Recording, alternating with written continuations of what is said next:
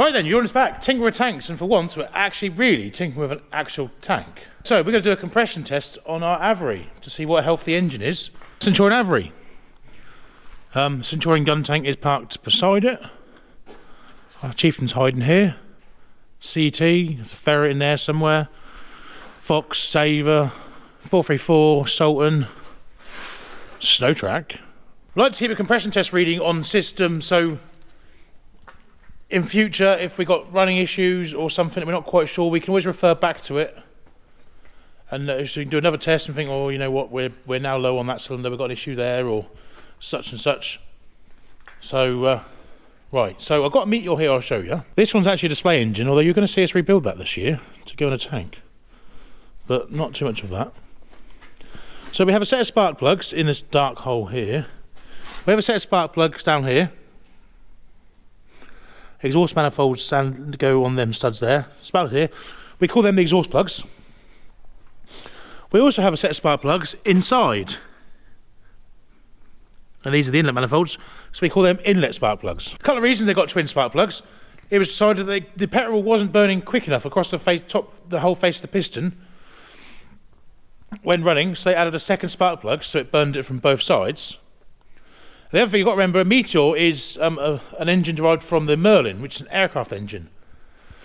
Now, if you've only got one set of spark plugs in the airplane, and they stop working, like points and magnetos do, you can't pull into a lay-by to stop.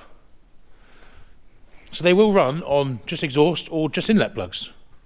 So if you get a mag go down, they will still run, not full power, kind of like half power, two thirds of power it's noticeable. You, you, you, you know when you've got one down.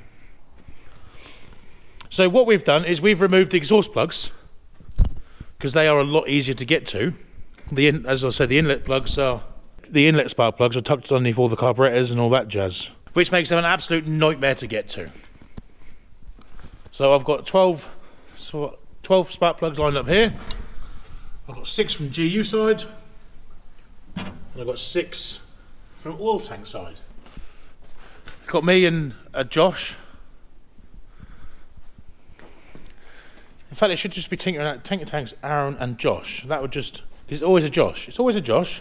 You should know which one it is. We've got Leprechaun Josh, or not Leprechaun Josh.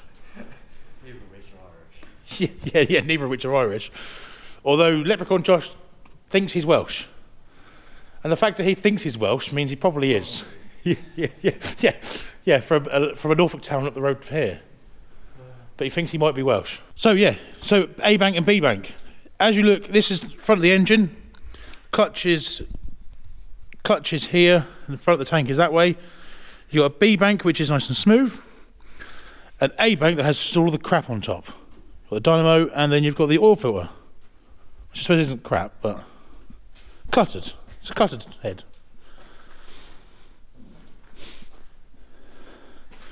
Then we've got a bit of paper where we've got A and B, and then we've got space for wet and dry if we need to do a wet test. And we'll talk you through that if we do. So we're going to send Josh up there. Where's the pressure tester? Up there. Up there. Oh. The pressure tester is there. Welcome to the fridge, currently uh, referred to as the driving compartment of our Centurion ARV. So I'm in here. I'm going to be uh, pressing the button to start it while Josh does the compression readings. It's quite dark in here, so you can't see a lot. We we're just waiting on Josh. I'm waiting on you. You wait on me, righto.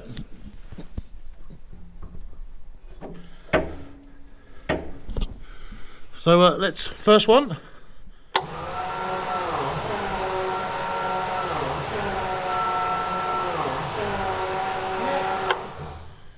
It's quite odd, isn't it? You heard as she turns over, you could you tell when when, when she's on compression on the um, one we're testing. Oh, yeah, yeah, yeah. So you join me down here in the uh, engine bay and with this is B bank. You can see we've got the the cleaner rocker cover. We've done the first three.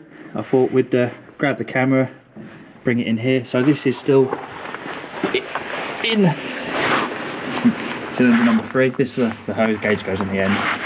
kind of thing. So annoying, you can't really see what I'm doing because it's dark. But if I just try and one-handed get all this out, see there ain't a lot of room in here. I'm where a fuel tank would be, so we don't run the uh, the wing tanks. So that's half of it out. There is still a little bit in here. If I can reach in and find it, it's here.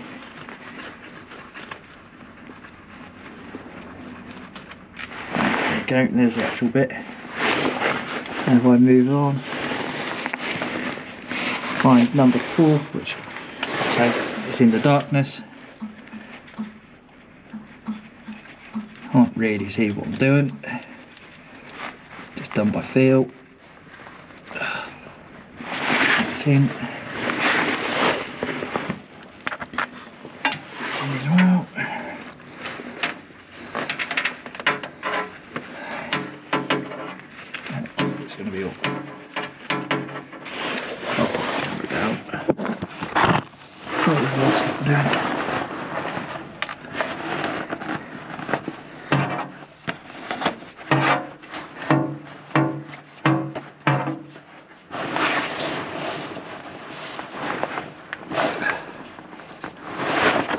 There we go, that bit's on.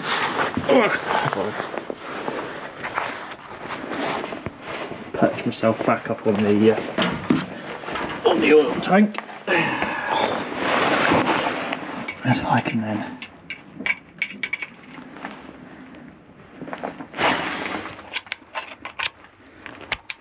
gauge on, there we go. So you can just about see that. And if I shout, yeah!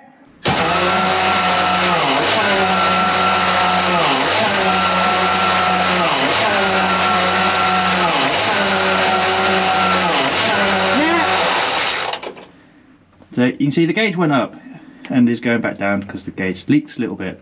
Um, so yeah, I'm perched up here, so there's not a lot of room. I've got the fan spinning right behind me because it is still turning over, and uh, I will be careful HT leads because even though the ignition's off, the uh, the booster coil's still running, which is always fun. Um, so yeah, I'll write that down and we'll move on to the next one.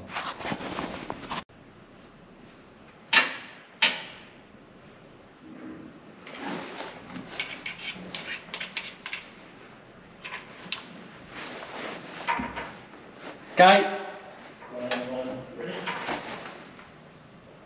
Yeah.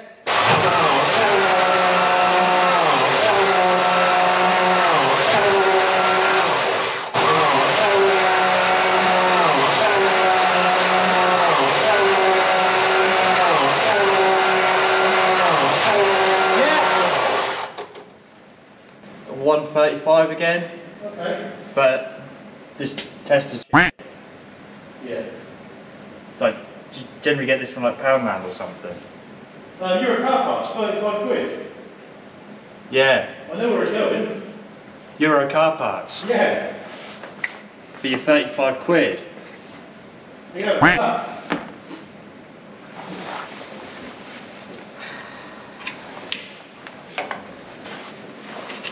If you scratch on it hard enough, you'll find where it says Parkside.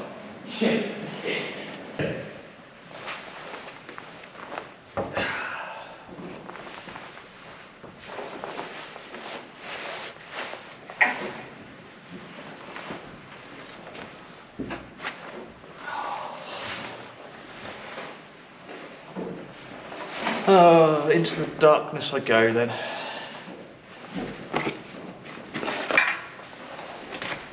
Really know where to put my stuff for this one.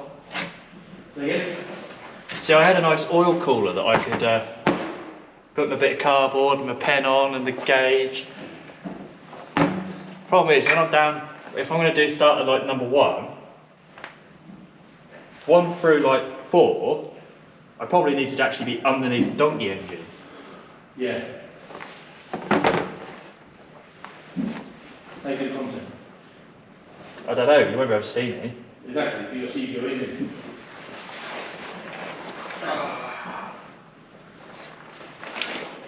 I generally do these ones by feel. I did. I got like yeah.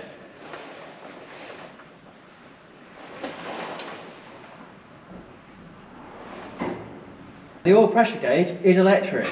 It is, yeah because I found it. Yeah, he found it on there. It's next to my knee.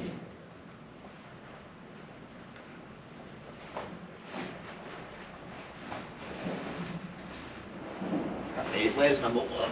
Number over here. There it is. Luckily, because they are directly underneath the manifold, and you can kind of, Yeah. I, I can figure out where they are just by feel.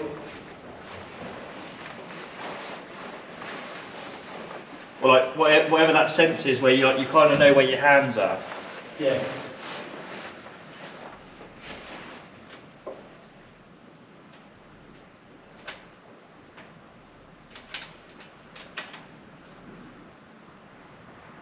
Okay.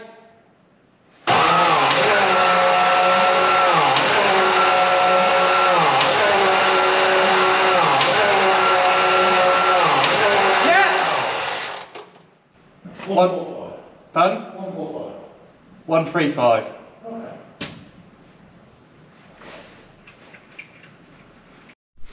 Right then, so that is compression test complete and our readings are pretty damn good. So let me take you some lights so you can read them. Perhaps we'll use a ferret.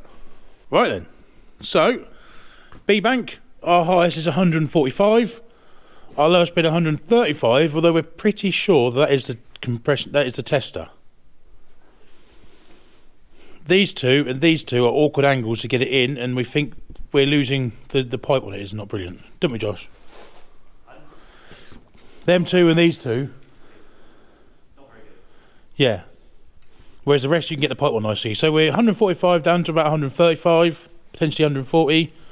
And then this side again, the chalked ones are 135 and the rest are 140, 145. So compression readings, the important bit is not necessarily the number, or the number is important, it's how close they are together. Anything more than 10%, you've got issues and you'll hear it when it runs. It'll sound like a misfire. We are well and truly within 10%. Um, 10% being on this like 14 odd psi, and the furthest away we're 135 to 145, so we're 10. And we're pretty sure the 135 is the tester, is what is low. But well, that's brand new today as well. So yeah, we're we're happy with them readings. So there, so now we know the engine is good because there was a slight slight question mark. Reason why we've done a compression test. She's at the minute being a bit of a stubborn mare, starting and running. We want to eliminate a few things, so we want to make sure a the, the engine's in good health, which now we know it is. So our three sides of the of the uh, you know your fire triangle of the engine is we need compression, we need fuel, and we need spark. Well, we've got the compression bit, so our problem must be in the sparky bit or the fuel bit. So we're going to go on an adventure and start looking for some bits. So anyone else that got classic cars or tractors or bits and pieces knows that you need a lot of spares and bits and pieces to keep them going. We've got lots of little hidey holes of spares of stuff that we need to keep them going. Not the neatest of places, but for Centurions, this is a gold mine. So let's go on the hunt. So, yeah, crankshaft from Meteor, another crankshaft from Meteor, camshafts, all them boxes there are various Meteor components, barrels, there's a, there's a block there, and a wheel case.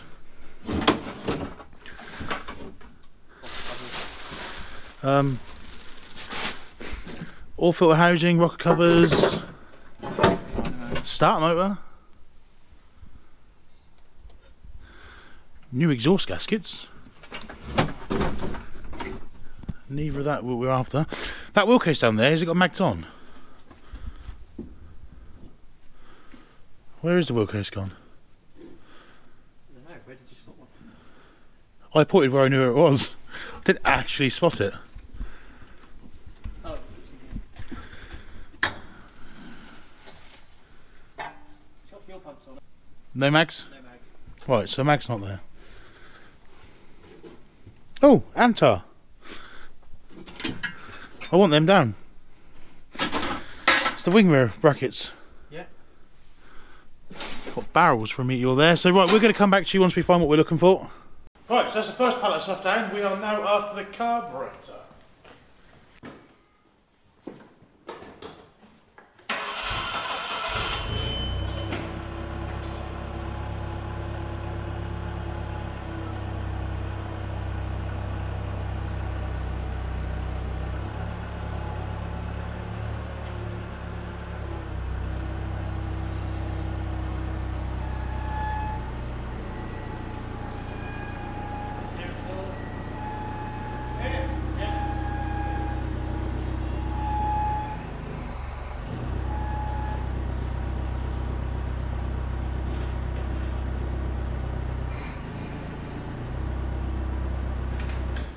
Right then, let's have a look what we got.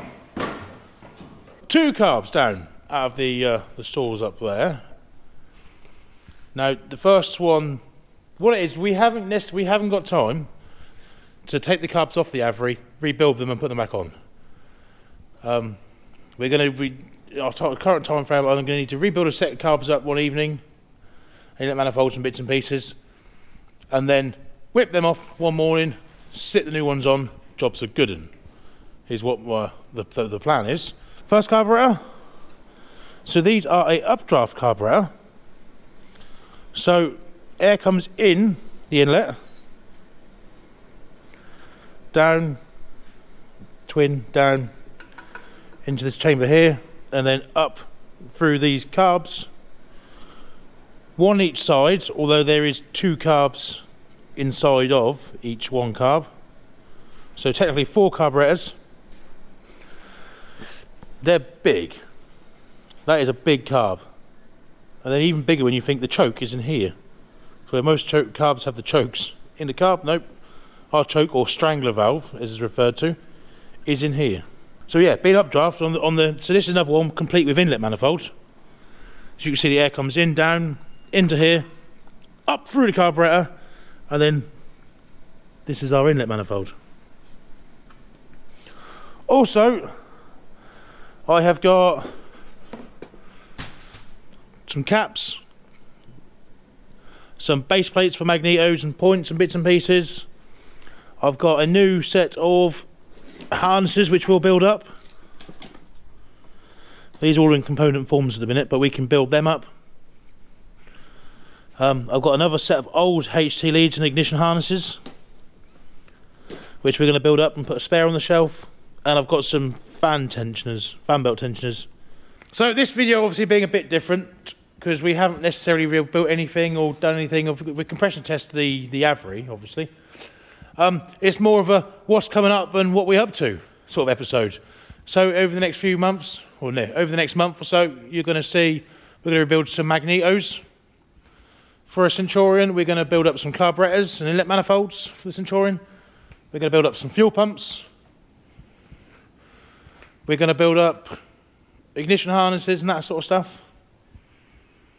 And I, I think that's quite cool stuff because that's just so big and different to cars and that sort of thing. Let us know down below what bits you're looking forward to seeing rebuilt. So, that is us done for now. See you in the next one.